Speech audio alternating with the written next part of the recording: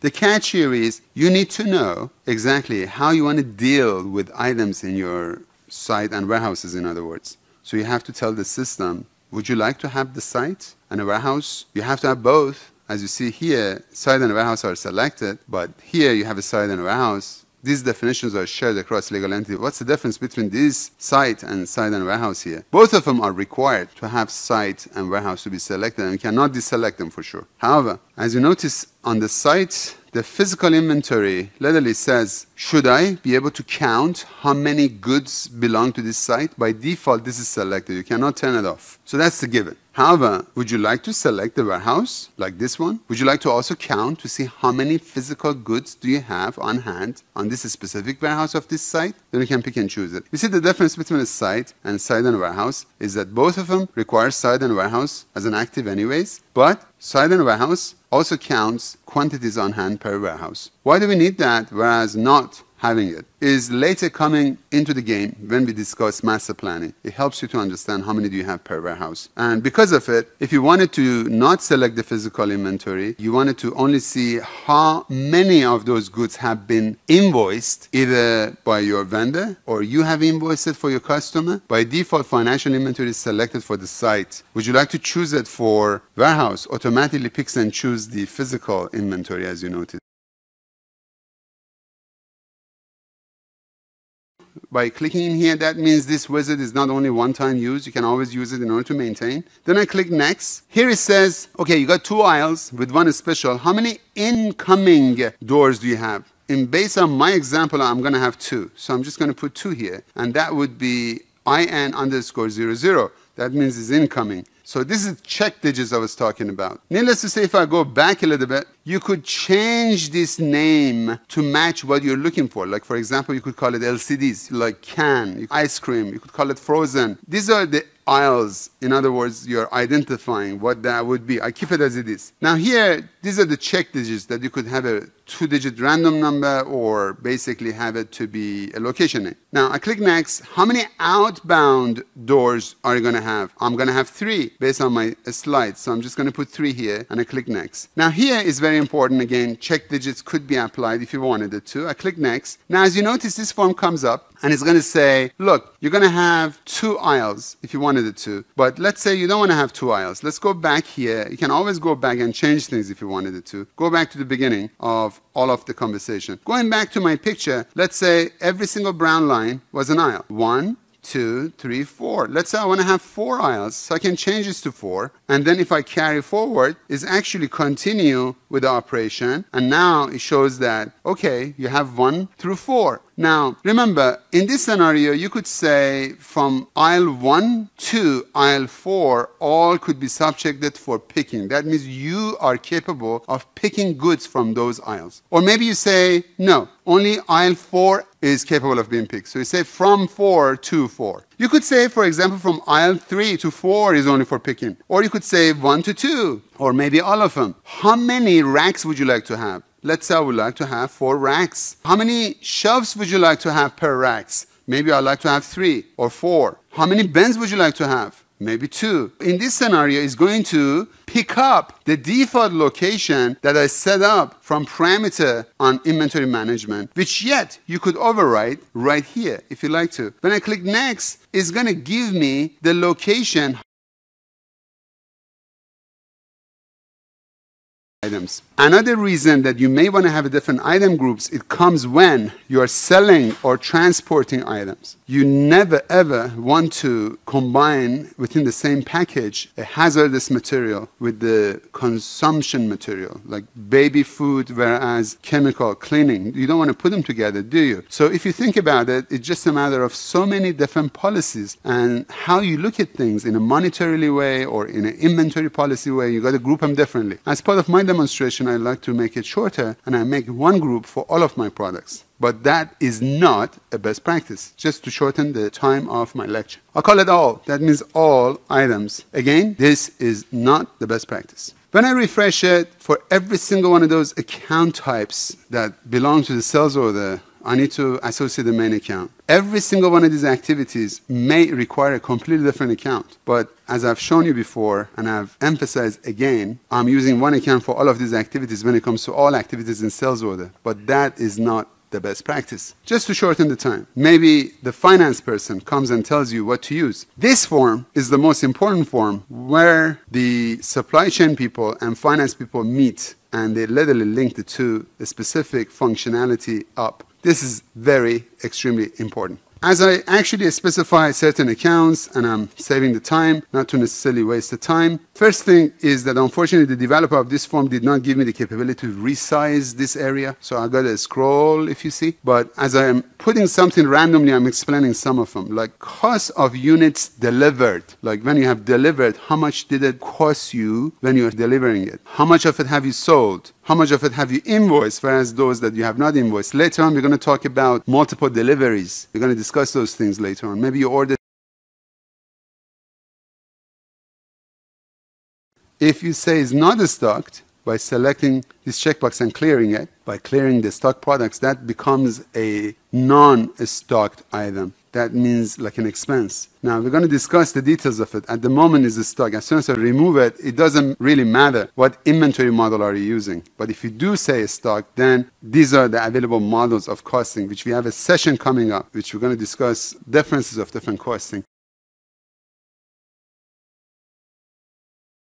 I set up the default order setting, set the specific order setting. Remember, all of these specific products happens to be raw materials, so I'm buying them. And I will produce them by taking them to warehouse 200 later on. Now, I got four pieces and I could have a cover, I could basically have an adapter. I try to make it as minimum as possible. So I will create one more, but this time, this specific one is going to be a bit specific and special. i call this ebook LCD. And literally this LCD of mine is going to be purchased, but happens that I apply the template. However, here on the storage dimension group, I rather choose site, warehouse, and location. And as a reminder, this specific storage dimension group does include the location. I click close. And let's say the LCD comes in each. You could, of course, change a unit. Needless to say, you could have a unit when you store, buy, sell, or when you produce. Like you buy a bottle of wine, you sell it by glass. You buy a keg of a beer and you sell it by pint or pitcher, whatever it is. I click OK. So that's the LCD.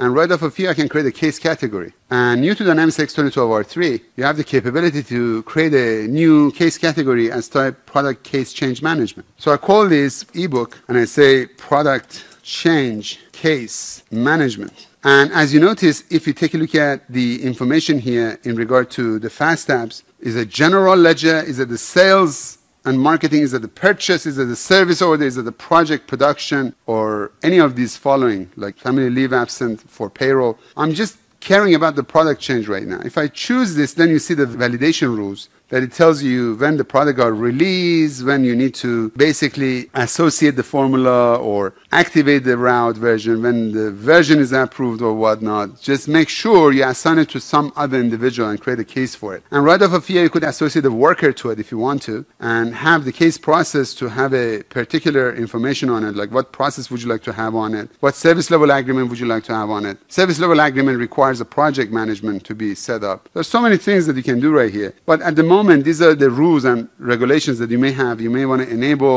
change the level of it if you wanted to, etc. But right off over here, I can actually click on a related knowledge base article and I can create a brand new one and I could create an identification for this knowledge base article which could indeed be a document or folder or a link which could point to a specific location. Like for the demonstration, I just call it Guide to Learn, but it could be MSDN, could be your company's SharePoint folder or library, etc. So let's test it. I put a web address here, I click OK, and now I say demo product change case management. And now you could open the file, you could send it, you could send it to a group of people. Anyhow, this is the knowledge base article that I could associate here and the knowledge base article indeed can be viewed. As you see here, you could associate file or folders into it if you wanted it to. Now I've associate that specific knowledge base article. Now I can go back to my product and pick and choose the release product and select my ebook. And on the engineer, I could create a case based on who is creating the case. Is it me? Is it somebody else? Is I click new right off of here and I come back to the item and a product and this time I call it IPNS which stands for an item which is a product and is a non-stockable.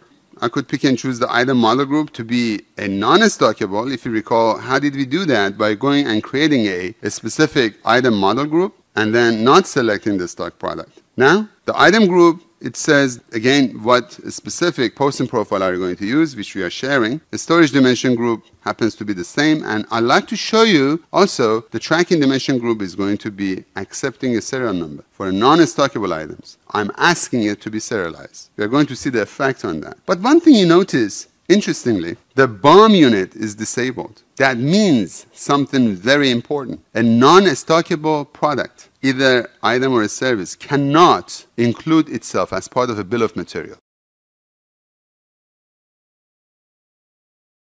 Now, if I go back to the update line and talk about the registration, you notice that I could select both of them and add them here and look, one of them is going to be undue, the other one is going to be registered. So let's go ahead and pick and choose a completely different one. But pay attention that even though Sohail-123 was used as part of a serial number, it never got stored for reusability. That was an ad hoc usability. So in one demonstration, I showed you that you could have a serial number per se and never keep it again. That's the ad hoc one-time use of serial number for multiple quantity? Or would you like to keep reusing the same serial number over and over again? If I go back to the inventory on hand for the IPS2 is having 450. You got a 100, 150, and 200. Makes it 450. But it costs you zero because of the formula. It says that the financial cost amount, which happens only when you accept the vendor invoice, divided by posted quantity, no value. Whereas the IPS, the on hand, and it shows 100, 150, and 200, 450 plus zero divided by physical inventory 450 divided by 3 is 150. So as you see the formula, again, this is a counting journal. We're going to talk a lot about these journals later on. But now I'd like to go about and create a brand new item journal as type item counting. And I create a brand new one, and I pick and choose the counting, and click OK. I pick and choose only the LCD of mine, which actually allows me to pick and choose a proper dimension.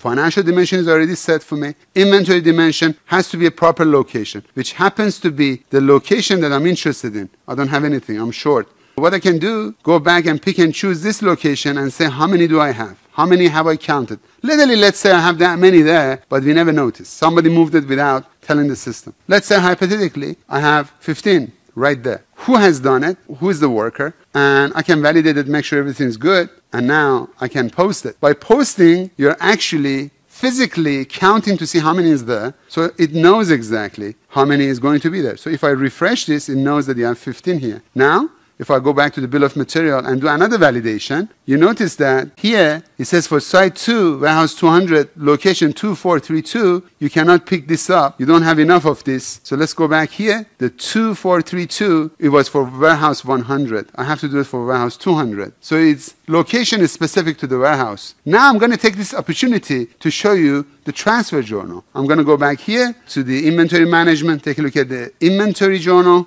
create a new journal as type transfer. This is not a transfer order, it is a transfer journal. And by doing this, I can simply come here and say, why don't you transfer physically? We talk about transfer journals and all that again later on in more detail, but let's pick and choose the transfer journal and I click OK. What I do, I say, go ahead and pick and choose the LCD of mine. Financial dimension is set and let literally deduct 10 from warehouse 100. This location to site 2, warehouse 200, same location. So now in this scenario, if I validate this, I'm actually moving 10 from warehouse 100 to 200 within the same location number happens to be. So in this scenario, if I go ahead and post this, I'm actually transferring 10 from one warehouse to the other. So you have 5 here, 10 here. Now if I go to the bill of material, finally if I validate this, I click OK. You notice that everything is good. If again, take a look at the on hand, I don't have anything available on ebook. As soon as I post this bill of material, now I'm creating one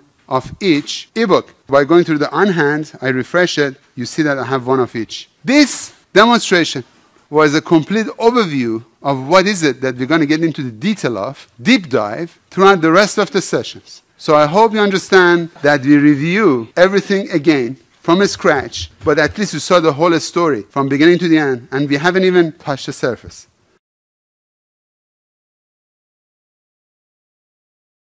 by going through the packing and slip journal, similar to the product received on the purchase order, you could cancel it or correct it and start from scratch and making sure that you don't send something that is going to return back to you. Now, let's go back and talk about quality order in regard to the water. I have a bottle of water and here once more, if you pay attention, I do have the physical quantity 47 and one is reserved. So available is 46. The quality order now is going to be checked against the pH. Let's say the value is 3. And it's going to be checked against the taste. And I taste the water, let's say, and it tastes great. If I validate it, everything is going to be okay. And as a matter of fact, the test is going to pass. And in order to prove the concept, you can actually come here to the inquiry and create a certificate of analysis and have a logo, say, we guarantee our work, it tastes great, and there you go. That's a print of the certificate of analysis, which again, you notice that in this form, the certificate of analysis happens to be a report that the, for the first one I've generated it, it indicates the ebook, as you notice. And if I move on to the next page, it's going to indicate my water. So it shows the pH level and it shows the taste level. Fantastic. This has been actually taken care of. And as a matter of fact, if I go to the on hand and if I refresh it, it actually shows that you have a quantity of 46 if I do the packing slip on this specific item, which is water, is going to be deducting it from my warehouse. You have deducted one and the quality order has been sold one. So therefore the cost of that specific product which has been destroyed is being taken care of.